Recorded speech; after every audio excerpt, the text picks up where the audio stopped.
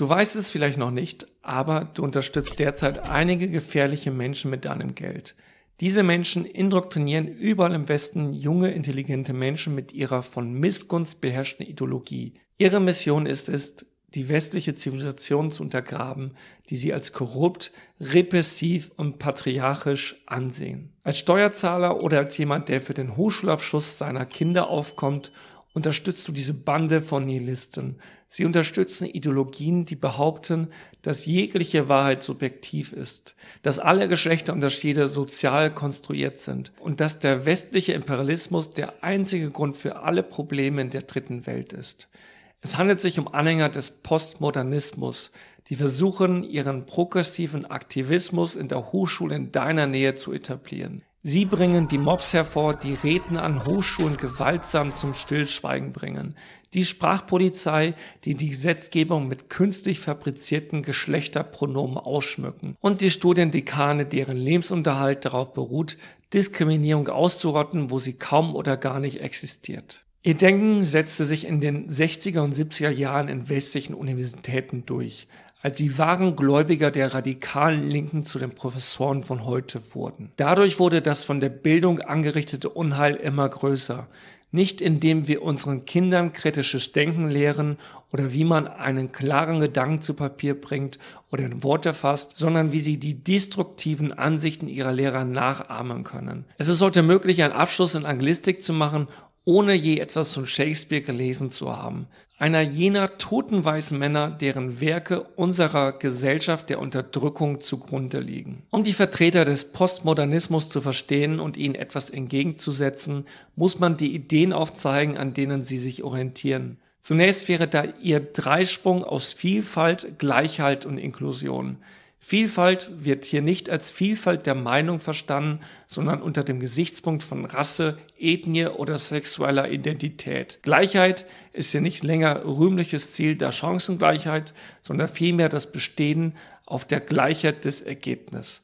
Und Inklusion ist der Gebrauch identitätsbasierter Quoten, um diese irrtümliche Vorstellung von Gleichheit umzusetzen. Alle klassischen Rechtsnormen des Westens werden als zweitrangig gegenüber dieser neuen Rechtsnorm angesehen. Betrachten wir zum Beispiel die Redefreiheit, dem Grundstein der Demokratie. Die Anhänger des Postmodernismus glauben nicht daran, dass Menschen in guter Absicht Ideen austauschen und einen Konsens erreichen können. Ihre Welt ist vielmehr ein Hobbscher Albtraum unterschiedlicher Identitätsgruppen, die um Macht kämpfen. Sie betrachten Ideen, die ihrer Ideologie entgegenstehen, nicht einfach als falsch, sondern als integralen Bestandteil des Unterdrückungssystems, das sie zu ersetzen versuchen. Und sie sehen es als ihre moralische Pflicht an, die Äußerung dieser Ideen im Keim zu ersticken und zu behindern. Zweitens sehen wir die Ablehnung des freien Marktes, also jener grundlegenden Idee, dass freiwilliger Handel jedem zugute kommt. Sie wollen nicht eingestehen, dass der Kapitalismus hunderte Millionen Menschen aus der Armut befreit hat, sodass sie sich erstmals in der Geschichte Essen, Unterkunft, Kleidung und Transportmittel leisten können, sogar Freizeit und die Möglichkeit zu reisen. Diejenigen, die in den USA oder zunehmend auf anderswo als arm gelten, können ihre Grundbedürfnisse decken. Währenddessen im ehemals wohlhabenden Venezuela kürzlich noch das Aushängeschild für die Linken an den Hochschulen steht die Mittelklasse an, um Toilettenpapier zu bekommen. Drittens und zu guter Letzt gibt es die Identitätspolitik. Die Postmodernisten glauben nicht an Individuen. Man ist vielmehr ein Exemplar seiner Rasse, seines Geschlechts oder seiner sexuellen Vorlieben. Außerdem ist man entweder Opfer oder Unterdrücker. Erstere können sich nie etwas zu Schulden kommen lassen, während letztere zu nichts Guten fähig sind.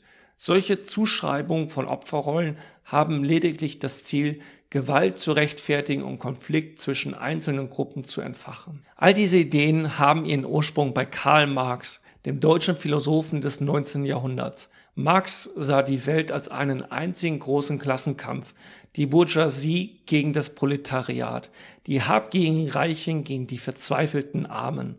Doch wo immer auch seine Ideen in die Praxis umgesetzt wurden, in der Sowjetunion, in China, Vietnam und in Kambodscha, um nur einige zu nennen, brachen ganze Volkswirtschaften zusammen und wurden mehrere zehn Millionen Menschen getötet. Wir führten einen jahrzehntelangen Kalten Krieg, um die Verbreitung dieser mörderischen Ideen zu beenden.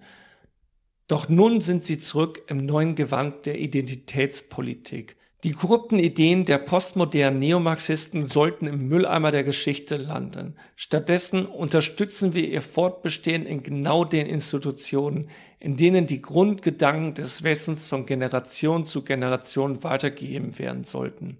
Wenn wir damit nicht aufhören, wird der Postmodernismus in Amerika und in der gesamten westlichen Welt anrichten, was er bereits in ihren Universitäten angerichtet hat. Ich bin Jordan Peterson, Professor für Psychologie an der Universität von Toronto für Prager University.